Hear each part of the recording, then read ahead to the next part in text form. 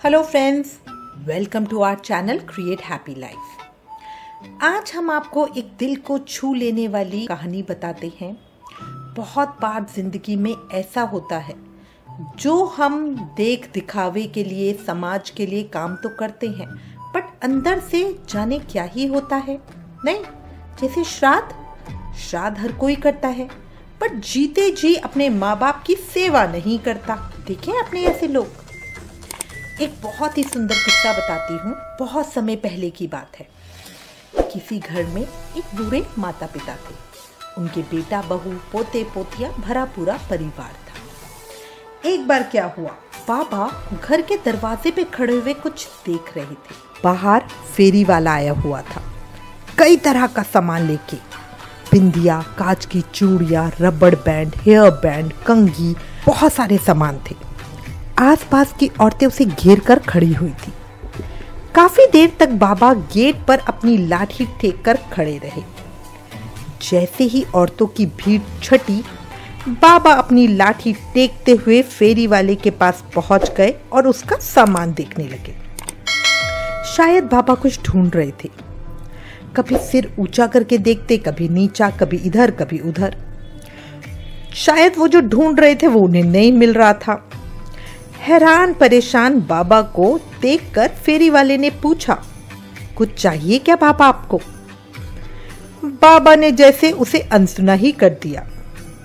धीरे धीरे लाठी टेकते हुए फेरी के चक्कर लगा रहे थे। वो कुछ ढूंढ रहे थे। फेरी वाले ने दोबारा पूछा, बाबा कुछ चाहिए क्या? अब की बार बाबा ने फेरी वाले से कहा हाँ बेटा। फेरी वाला बोला हाँ बताओ, क्या चाहिए? मैं ढूंढ देता हूँ। बाबा कुछ हक बकाते हुए बोले, मुझे मुझे वो बिंदिया चाहिए, बिंदिया.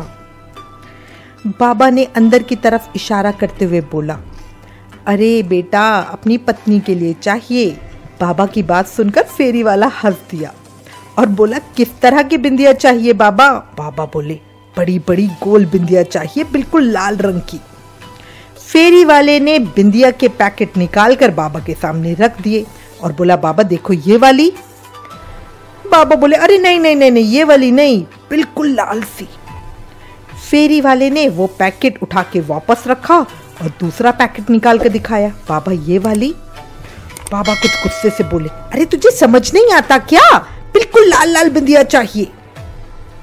फेरी वाले ने सारे पैकेट निकाले और वहीं पे फैला दिए और बोला, आप खुद ही देख लो कौन सी बिंदिया चाहिए। बाबा ने कप कपाते हाथों से बिंदियाओं के पैकेट इधर उधर किए और उसमें से एक पैकेट निकाला और बोले हाँ हाँ ये वाली। बाबा के हाथ में बिंदिया का पैकेट देख के फेरी वाला मुस्कुराया और बोला, बाबा, ये तो मेहरून रंग की बिंदिया उठाई है आपने। बाबा बोले हाँ हाँ यही चाहिए, यही। कितने की है? दस रुपए की है, बाबा। अच्छा दस रुपए? कीमत सुनकर बाबा का दिल बैठ गया। फिर भी बोले, ठीक है, अभी लेकर आता हूँ। बाबा धीरे धीरे लाठी टेकते हुए पलटकर वापस घर के अंदर जाने लगे। तभी घर में से उनकी बहू बाहर आती दिखी। उसे देखकर बाबा बोले, अरे बहू, जरा दस रुपए तो देना, फेरी वाले को देने हैं। बहू चिल्लाते हुए बोली, अब क्या खर्चा कर दिया आप लोगों ने? बाबा बड़े प्यार से बोले, अम्मा के लिए बिंदिया खरीदी है, उसकी बिंदिया खत्म हो गई थी, कई बार बोल चुकी है। बाबा की बात सुनकर बहू का गुस्सा सातवें आसमान पे था। आप लोगों को कोई और काम तो है नहीं, बेकार के खर्चे करते रहते हो। सत्तर साल की हो चुकी है अम्मा, क्या अभी भी बिंदिया लगाएगी सोलह सिंगार करेगी? इस उम्र में भी जाने क्या क्या शौक पाल रखे हैं। अब बाबा को बात सुन के कुछ अच्छा नहीं लगा और बोले, देख बेटा, बात शौक की नहीं है। अम्मा भी तो तेरी सुहागन है, इसलिए उसका मन नहीं मानता। सिर्फ़ दस रुपये तो मांग रहा हूँ, अंदर जाके दे दूँगा। बहू एकदम चिल्लाते हुए बोली, कहाँ से दे दोगे? जो पैसे दिए हैं, वो मेरे पति की कमाई है। मेरे पास कोई पैसे वैसे नहीं है, जाओ यहाँ से। अब इतना कह के बहू बड़बड़ाती हुई वापस अंदर चली गई। अम्मा ने खाट पर लेटे लेटे ही बाबा को इशारा किया। बाबा ने पलट कर बिंदिया फेरी वाले को वापस देख दी और लाठी टेकते हुए अम्मा के पास जाके बैठ गए। बाबा ने देखा अम्मा की आँखों में आँसू थे। बाबा बोले, माफ़ करना पार्वती, मैं तेरी छोटी सी इच्छा भी पूरी नहीं कर पाया। अम्मा बाबा का मन रखते हुए बोली, रहने दो जी, बेचारी बहू भी परेशान हो जाती होगी। काहे दिल पर लेकर बैठ जाते हो? बिंदिया ही तो थी, बाबा बोले। हाँ हाँ बिंदिया ही तो थी, कौन सी हज़ारों रुपए की आ रही थी?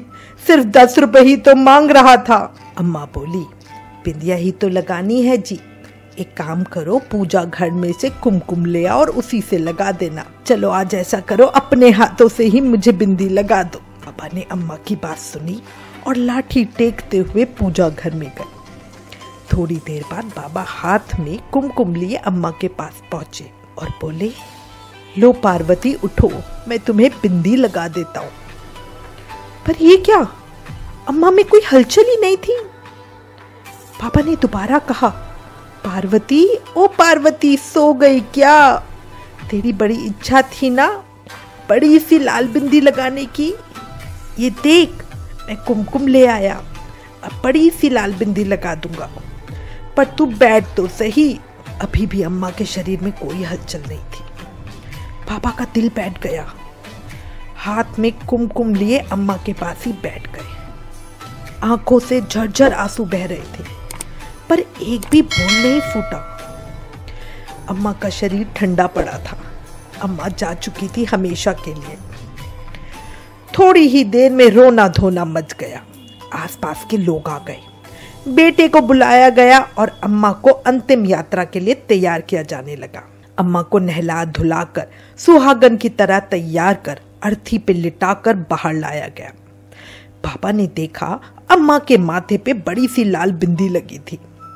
बाबा उठे और घर में गए। थोड़ी देर बाद बाहर आए और धीरे धीरे लाठी टेकते टेकते अम्मा की अर्थी के पास गए। उन्होंने अम्मा के माथे पे से बिंदी हटा दी। बेटा एकदम बोला, बाबा, ये क्या कर रहे हो? अम्मा सुहागन थी, आप बिंदी क्यों हटा रहे हो? बाबा बोले, बेटे, उसका पति बिंदी खरीदने की औकात नहीं रखता था, इसलिए हटा रहा हूँ। ये सुनकर सभी लोग वहाँ पे हैरान थे। बहुत शर्मसार थी। सबने देखा बाबा अपने हाथ में लाए कुमकुम से एक बड़ी सी लाल बिंदिया अम्मा के माथे पे लगा रहे हैं। थोड़ी देर बाद एकदम ही बहू की चीख निकल आई। बाबा भी अम्मा के साथ हमेशा हमेशा के लिए लंबी यात्रा पे रवाना हो गए थे। ये दोनों का प्रेम ही था। फ्रेंड्स, ये कहानी हृदय को छूने वाली है और हमें कुछ संदेश भी दे रही है। हमारे समाज में सिर्फ़ दो से चार परसेंट बुज़ुर्गों की स्थिति परिवार में सम्मानजनक है। बाकी सब बहुत खराब स्थिति में है। और शायद इसकी मेन वजह ये न्यूक्लियर होती फैमिलीज़ है। नाते रिश्ते खत्म हो रहे हैं। सिर्फ़ धन दौलत में ही रिश्ते लिपट रहे हैं। लड़के लड़कियाँ पढ़ लिख कर ज़्यादा समझदार और बुद्धिमान होने का झूठा दिखावा कर रहे हैं, किताबी ज्ञान होने का व्यवहार कर रहे हैं बट असली ज्ञान की उनमें बहुत कमी है। आप सबसे रिक्वेस्ट है, अपने घर के बुज़ुर्गों का उचित सम्मान करें। याद रखो, सभी को एक दिन बूढ़ा होना है।